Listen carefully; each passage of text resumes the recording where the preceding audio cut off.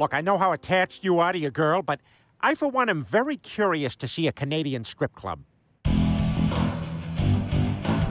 Fellas, put your mittens together for